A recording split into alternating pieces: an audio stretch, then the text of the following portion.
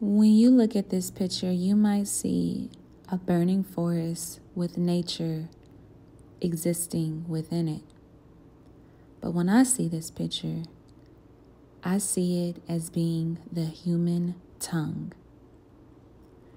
I refer back to biblical scripture, where in the book of James, chapter 3, verse 5 through 6, it says, Even so, the tongue is a little member and boasteth great things. Behold, how great a matter a little fire kindleth. And the tongue is a fire, a world of iniquity. So is the tongue among our members, that it defiles the whole body, and setteth on fire the course of nature, and it is set on fire of hell.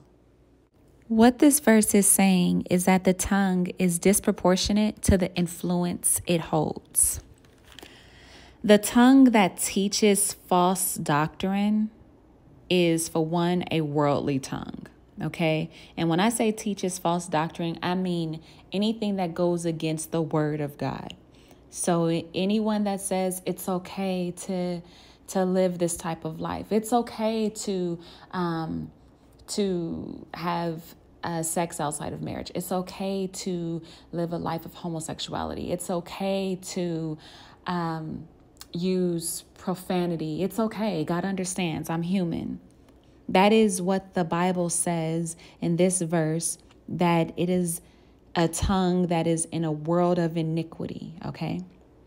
So the tongue, it pollutes the whole body and it determines the destiny of all who follow it. This is why I encourage you to get in your scripture.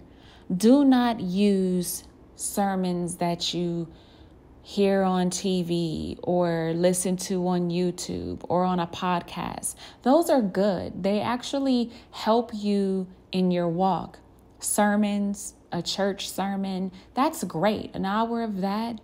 But in order to truly live a life that God has ordained us to live, it is all within the scripture.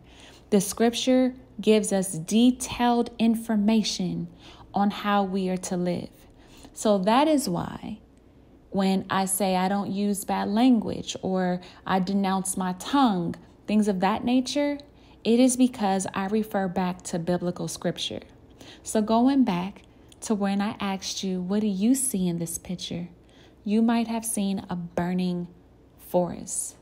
But for me, because I know the word and I apply it in my daily life, I see that picture as the human tongue.